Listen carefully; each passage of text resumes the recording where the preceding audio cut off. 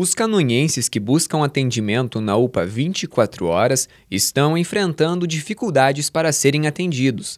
Dona Terezinha está com seu filho, que desde sábado sofre com trombose e ainda não recebeu atendimento. Desde sábado às 7 horas foi internado ele, que o médico pediu urgência.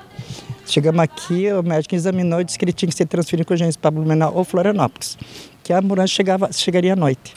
E hoje já é segunda-feira e ele está sem medicamento, com com o problema do pé ali, não resolve, nem vem ambulância, não vem médico nem interna, não sabemos o que fazer. Eu trouxe a minha tia, né, já faz uma hora e pouco, que deu uma, uma ameaça de AVC nela, é, de ontem para cá, não caminhou. E faz mais de uma hora que estamos aqui e nem para acolhimento não chamaram nós ainda, pra, não chamaram eu para levar ela para o acolhimento ali, para a sala de acolhimento, para depois atender. Se no papel está escrito ali, é, papel de prioridade, né, acima de 60 anos, então o papel não vale nada, tá ali.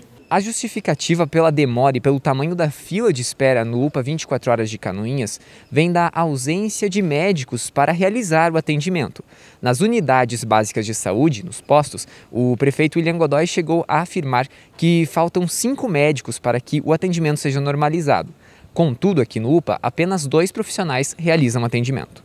Em nota, a Secretaria de Saúde disse que a demora no atendimento clínico deve-se às emergências atendidas durante o dia trazidas pelas equipes de socorro. A prioridade e principal função da unidade de pronto atendimento 24 horas é salvar vidas, e por isso as equipes estavam trabalhando no atendimento de parada cardíaca, transferência e casos de infarto. Salientam ainda que, nesta segunda-feira, foi observado um aumento na procura, tanto nas unidades de saúde quanto na UPA, de pessoas com sintomas respiratórios.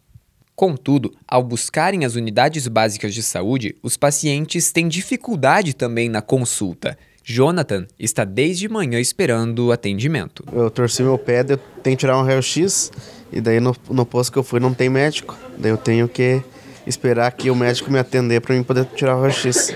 Desde as nove da manhã, estava com a minha menina no soro já, porque ela tem diabetes, baixou demais, daí eles atenderam ela.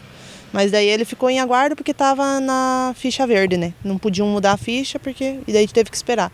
E daí eu fiquei com ela no soro e ele vomitando a cada passo, com diarreia. E eu também estava com dor de cabeça, mas daí até desisti do atendimento agora, porque senão eu vou sair daqui de noite, né? Daí ele foi atendido agora às três, de tanto eu insisti com o médico, daí tava uma outra moça loira ali também, eu falei para ela, falei, eu tô desde as nove com ele. Postinho tem médico, mas sempre tá cheia a ficha e se eles colocassem mais um médico, pelo menos para ajudar nesses horários que tem muita gente, já dava uma boa ajuda pro povo, né? E ali em cima tava um caos na emergência, muita emergência chegando e o leito tudo cheio. Falar a verdade é difícil aqui. Aqui não sei se é falta de médico, ou só pode ser médico, porque fica aqui, aqui fora, ó, você pode ver ali, ó, tá desde meio-dia esse transtorno ali. E tem casos que chega com urgência, né? Sim, sim. Então, não, não sei, é nós estamos perdidos aqui em Carniz.